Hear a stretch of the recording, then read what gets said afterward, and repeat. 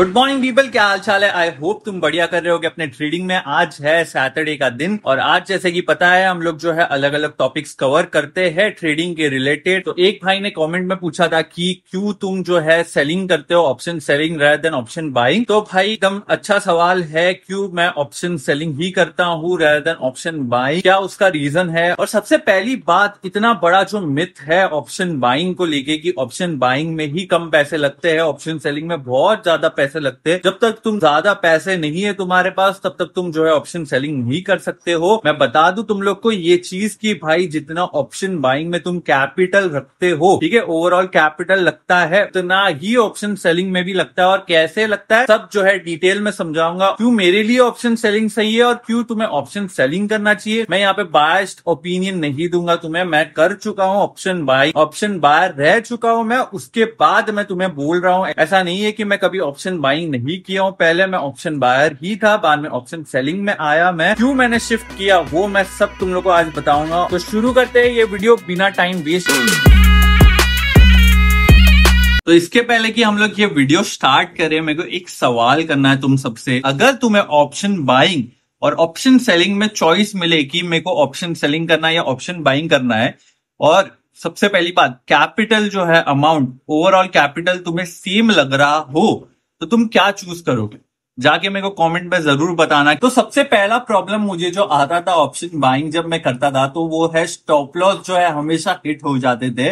और वो कैसे होते थे मैं तुम लोगों को बताता हूँ। फॉर एग्ज़ाम्पल मैंने कोई भी लो जो है ऑप्शन का उसको थोड़ा सा बफर रख के मैंने वहाँ पे अगर स्टॉप लॉस रख देता था। और बैंक निफ्टी का स्पॉट के हिसाब से भी वहीं पे स्टॉप लॉस पड़ता था। बैंक निफ्टी स्पॉट जो है अपना लो नहीं तोड़ता था, लेकिन ऑप्शन अपने लो पहले ही तोड़ देता था। ये काफ़ी बार मेरे साथ होता था और मैं गैस कर रहा हूँ कि भाई ये तुम्हारे साथ भी बहुत बार हो चुका होगा। ऑप्शन जो है अपने लो पहले ही तोड़ दे रहे और बैंक निफ्टी स्पॉट जो है अपना लो तोड़ा ही नहीं है। और फिर मार्केट जब पलटता था, हमारा स्टॉप लॉस हिट करने के बाद तो फिर भाई और ज़्यादा दुख होता था। और दूसरी बात, अगर मैं बैंक निफ्टी स्पॉट के लिए वेट करता था कि वो अपना लो तोड़े, फिर मैं ऑप्शन अपना जो है काटू, तब तक जो है लॉस काफ़ी बड़ा हो जाता था। और कभी कभी जो है बड़ी बड़ी मूवमेंट आती थी, जब लो जो है ब्रेक होता था, फिर जो है बड़ी मूव भी आ जाती थी, उस चक्कर में क्या होता था कि कुछ ज़्यादा ही बड़ा लॉस हो जाता था। तो होता ये था कि भाई लॉस पे कंट्रोल ही नहीं था। तो ऑप्शन सेलिंग में अगर सेम मैंने ऑप्शन सेलिंग में जब देखा तो मैंने हाई पे अगर मैं फॉर एग्जांपल लगा देता हूँ स्टॉप लॉस जब तक बैंक निफ्टी स्पॉट अपना जो है लो नहीं तोड़ता ऑप्शन जो है अपने हाईज भी नहीं तोड़ते। मैं बहुत बार देखा हूँ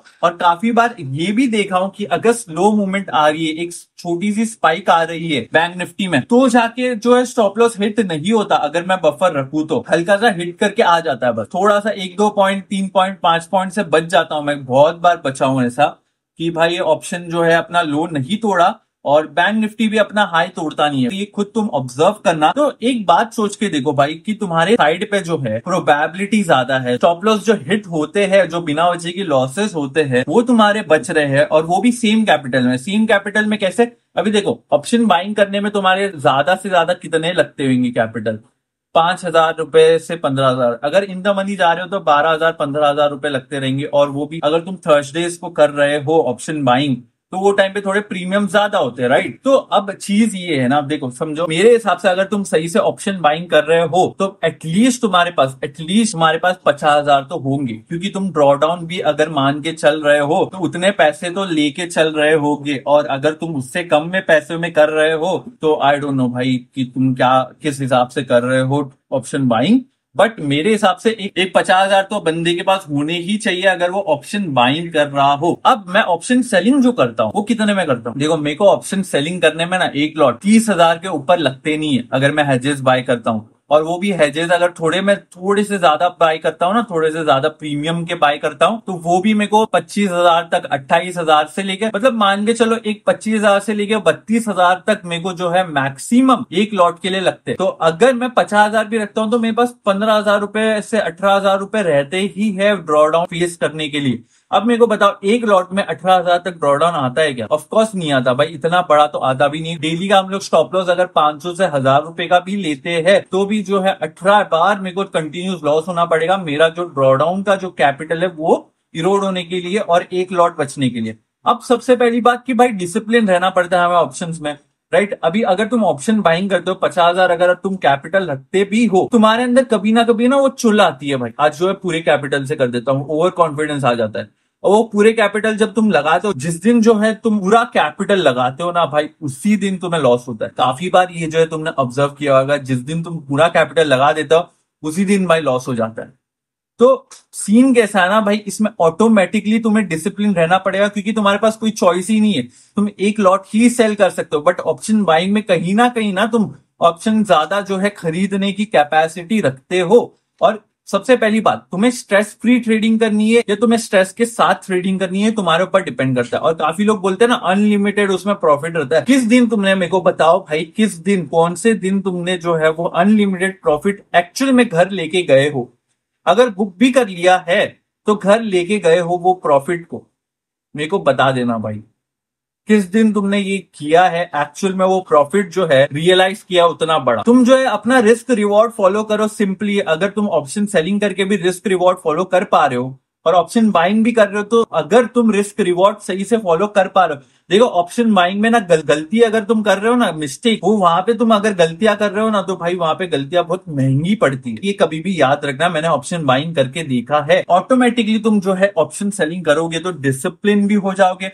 तुम्हारे स्टॉप लॉसेस हिट नहीं होंगे प्रोबेबिलिटी तुम्हारे साइड है टाइम डीके तुम्हारे साइड है। इतने सारे तुम्हारे पास पावर्स आ जाते हैं। तुम ऑफकोर्स भाई एक प्रॉफिटेबल ट्रेडर बनने के लिए तुम आसानी से थोड़ा मतलब जो रास्ता हार्ड है, पहले से ही रास्ता जो हार्ड है, उसमें थोड़ी तो आसानी हो जाएगी भाई। तुम एक बात सोच के देखो, मेरे पास दस लाख रुपए कैपिटल है फॉर एग्ज़ाम्पल तो मैं कितना ऑप्शन बाइंग कर सकता हूँ? एक लाख, दो लाख, तीन लाख? उसके ऊपर मैं पोजीशन हैंडल भी नहीं कर पाऊँगा, क्योंकि उसमें बड़ा लॉस भी होगा और बड़ा प्रॉफिट भी होगा। और बड़ा लॉस तुम्हारे रिस्क मैनेजमेंट के हिसाब से आएगा नहीं राइट अगर तुम रिस्क मैनेजमेंट फॉलो करते हो तो वो अलग बात है कि अगर तुम रिस्क मैनेजमेंट भी फॉलो करना चाहिए ट्रेडर को, अगर तुम वो बंदे हो कि रिस्क मैनेजमेंट फॉलो ही नहीं करते तो फिर वो दस लाख भूल जाओ भाई, कहाँ पे होंगे तुम्हारे? तो मेरी बात कहने की ये है कि तुम्हारे साइड पे प्रोबेबिलिटी ज़्यादा है तो अब तुम्हारे हाथ में भाई। कि तुम्हें ऑप्शन बाइंग करना है या सेलिंग करना है कैपिटल सेम लगता है। देखो, बात ये है ना, ये फोकस नहीं करना चाहिए कि मैं ऑप्शन बाइंग करूँ या ऑप्शन सेलिंग करूँ।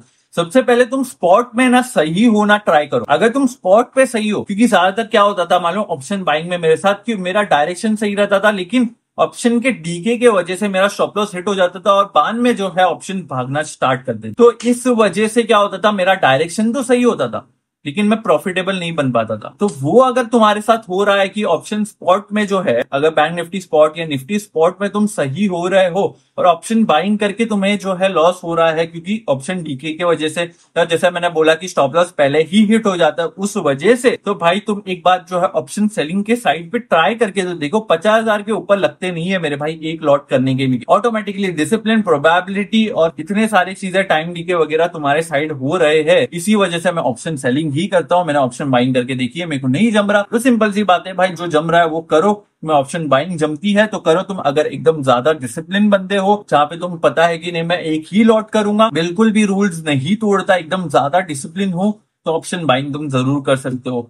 बट मैं तो प्रेफर यही करता हूँ हमेशा कि मैं ऑप्शन सेलिंग करूँ। तो आई होप ये वीडियो तुम्हें अच्छी लगी हो और तुम्हें कुछ वैल्यूबल इंफॉर्मेशन मिला हो। अगर अच्छी लगी हो तो कमेंट ज़रूर करके बताना। कुछ सवाल हो तो ज़रूर करना कमेंट में, मैं ज़रूर उसका रिप्लाई करूँगा। मिलते हैं अगले वीडियो में। कल है मूरा ट्रेडिंग तो कल देखेंगे क्या होता है। कल थोड़ी ब्लॉग शायद थोड़ी सी लेट हो सकती है बट लेट सी मैं शूट करके जल्दी से जल्दी ही ट्राई करूँगा कि मैं डालू उसको। और मिलते हैं अगले वीडियो में। तब तक के लिए टेक केयर और लाइक शेयर सब्सक्राइब ज़रूर कर देना।